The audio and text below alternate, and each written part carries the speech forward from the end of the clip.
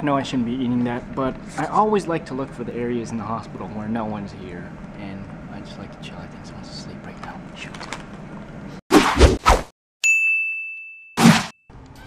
Yo, what's really good, future? Today I wanted to discuss a topic that, um, man, my hair, my hair.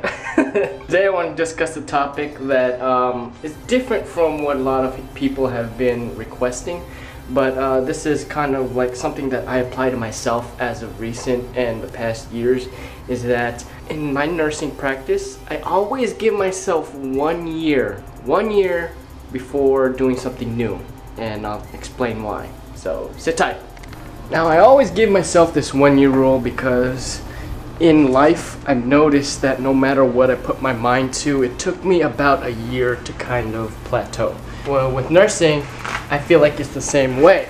I noticed this in my practice when I got bored with uh, med-surg and I went to um, what was it? I went to long-term care but I even got more bored with long-term care because it became too routine. When I started get to get to that point and I knew that like it was getting a little too easy I told myself that I always needed a new challenge. One of my very first mentors told me also that if I wanted to hone in on my skills was to go back to the basics and always always do something harder and challenge yourself. That's what I did was I went into CSICU.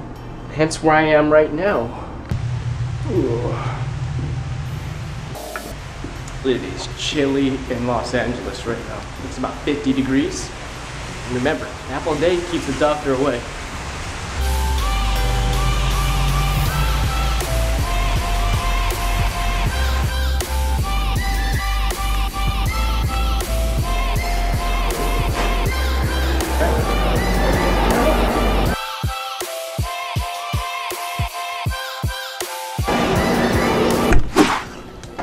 Time management is key to success in nursing. That's why you have to get your stuff ready first before going inside the room, so therefore you stay on top of things.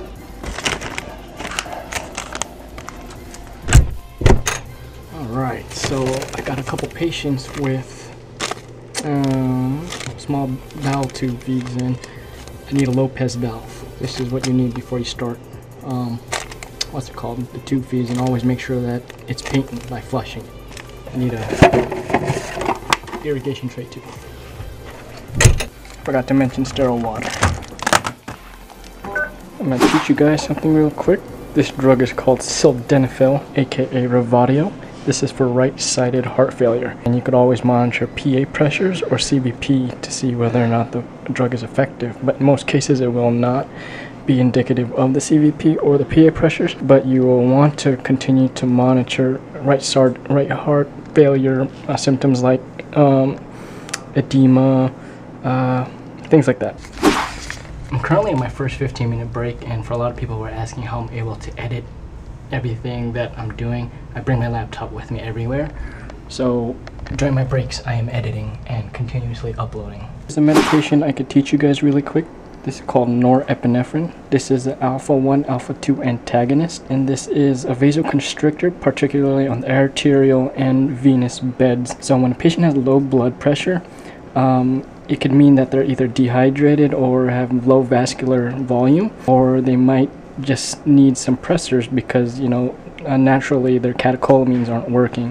Here is another drug I could teach you about too. This is called amiodarone. This is an antiarrhythmic drug. I don't want to get too particularly into like the details of its drug, but what it does is it takes care takes care takes care of dysrhythmias, meaning say if they're in AFib or they have some kind of arrhythmia. This drug you would usually bolus the patient, then start them on a one milligram for six hours and drop it to 0.5 until uh, they're actually ready to bridge them to PO medication. Going back to my previous point, and with my experience, I try my best to see how I like it within one year to kind of assess whether I want to go that route or another route. So as for the moment, I am really enjoying travel nursing.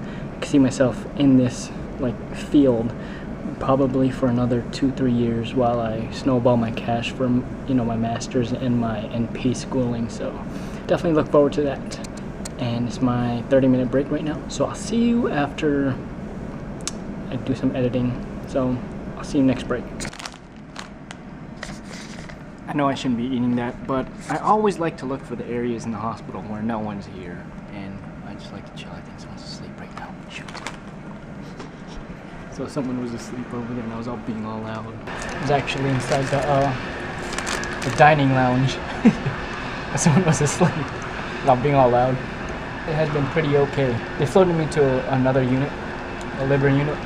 So ended up getting one patient. I'm gonna cut this video out right here so I can edit it a lot quicker and get it up to release this Saturday and get a lot more footage these next couple days. So therefore, uh, I can release them in sub subsequent weeks because I'll be going to the Philippines.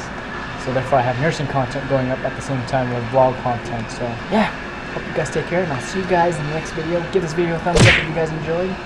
Follow me on my social media networks. It'll be listed somewhere here. And also, turn on your notification. It's on your mobile app, so therefore you can see when I upload videos for those who are wondering when I upload. So I'm trying to upload more frequently. Anyways, y'all take care. I'll see you guys in the next video.